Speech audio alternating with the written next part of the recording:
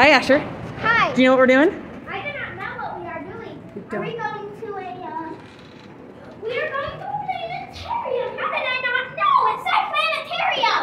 Who knew? At the start. Surprise! I thought we were getting something for a science experiment. This is science. Yeah, sure. What are the credits? What, what's that? It's the Earth. Hi, we're right now we're at the planetarium and we are gonna uh, encounter some cool stuff. Now here is this is a tornado and I will not set you through. It's what a tornado feels like. Yeah. Feels like it makes. Ah! Did you know? Did you know tornadoes form the right combination of, of traction and rotation? Tornadoes have the highest wind speeds on the planet and are capable of immense destruction. Mountains can disrupt tornado formation, just as your body can disrupt this tornado. Can you enter without destroying it? I did not know you destroyed tornadoes when entering it. Well, if we're a mountain, but if we were in a tornado in real life, we would not be able to do anything about it. If you're But you're like a mountain right now, Yeah. because that's a little tornado, like if you were a giant.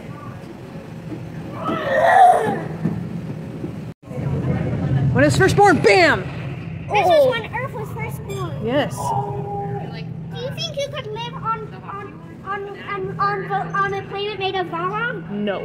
It looks like the fly- fires are kind of calming down a little bit, but it's methane and it's a water world. So What? How? See, it says right there underneath it what type of world it is at that point. Now, that's a heavy bombardment of more meteorites.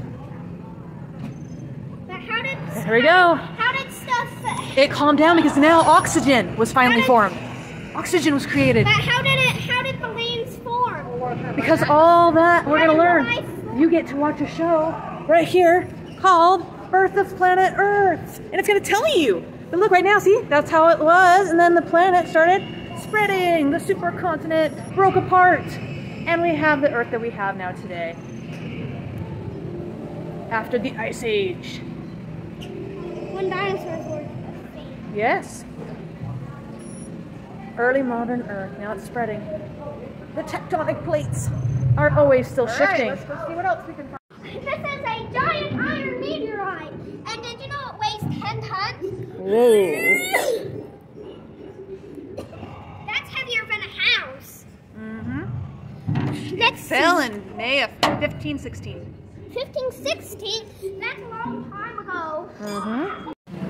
Foucault pendulum. Yep, pendulum.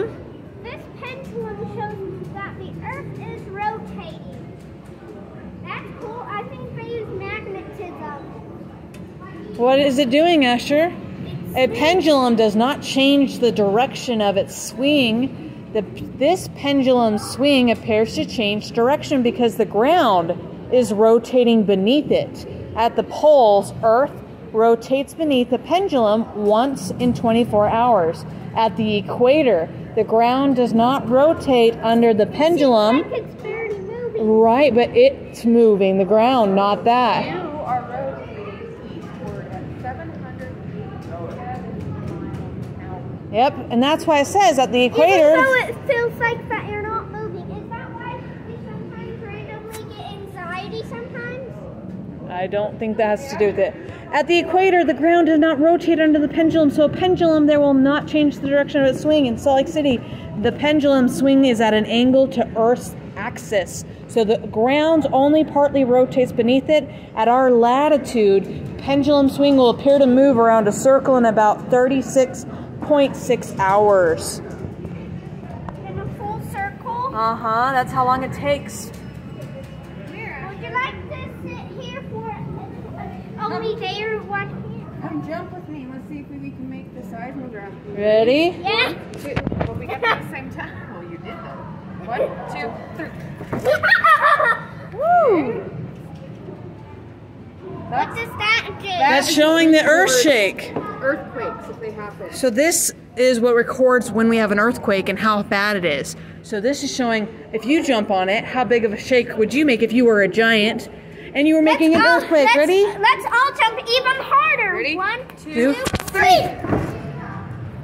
bigger than last time. A little bit, yeah. One more time harder. One, two, three. Oh, not as big. I think we're getting tired. Yeah. All right, let's go see what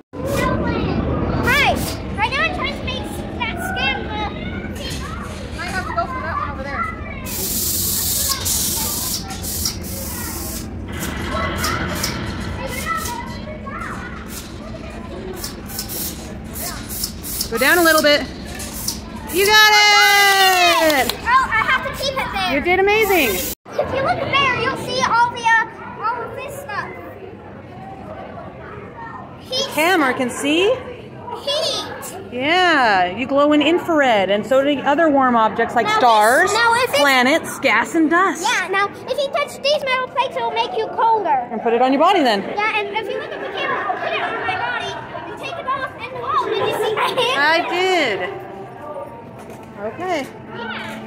Hello, um, and if you have you ever wondered how the moon's craters Asher, look, if you turn this, it will increase the PSI energy, the impact. It, so, so how the craters form are meteorites just struck the moon. Should we get more? Yeah. Oh, Does that make a bigger? I don't know, let's bigger- find out. Wow, that was a replay. Keep going. Let's see if we can get to 25. At least. It's so hard to turn. All right, now you gotta aim where there's no sand. Let's see how big of a hole, so you gotta aim. Aim. Right there. Ready? Fire. Woo! That was. Oh. What kind of crater landscape can you create? Pretty cool, huh? Let's get to 30. Okay. Look, that shows you making that crater. Let's rewind. Ooh. Just a little before. hmm Look, this talks about it though. See, Asher? The raised rim, the wall it creates, the floor, and central uplifts. Well. It says asteroids and meteorites encounter Earth at speeds ranging from 25 to 45 miles per second. On impact, that energy, yeah, on impact, that energy is transferred to the surface, and this often vaporizes much of the impactor and, evac- and excavates large amounts of surface material, and that leaves the hole behind being called a crater. What time is it right now? I'll have to find out. Did you help help turn it to as high as it goes? It's already at where it's as high as it'll go. Oh, 30? Okay. Where should we aim? It's already was ready. Hit fire.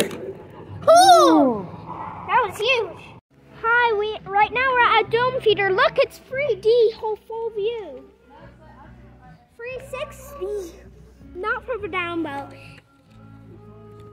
Mm-hmm. Because at least you at least have to see stand on something. It's not like you can walk on glass. Yeah. So what are we watching? The birth of Earth. Okay. But when will it start? Soon. Are you excited? Yes. Look at the pretty clouds.